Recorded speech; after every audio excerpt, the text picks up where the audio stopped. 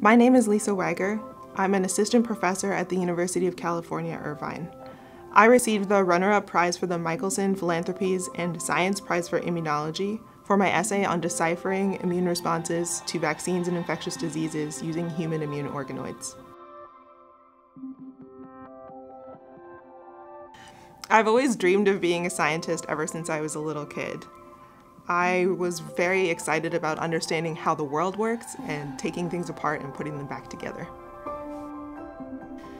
I was drawn to the field of immunology because it became more and more clear with my education and my training that immune cells play a crucial role in virtually every human disease.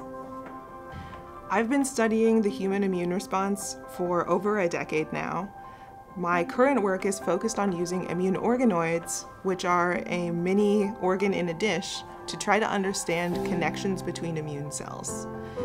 So we create these mini organs out of tonsil and other lymphoid tissues.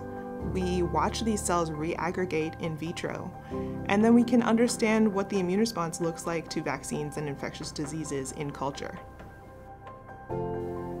My future goals are to improve human health through enhancing vaccine design.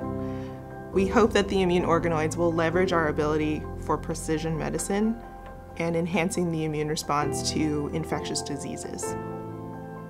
The Michelson Philanthropies and Science Prize for Immunology comes at a very crucial time for my research.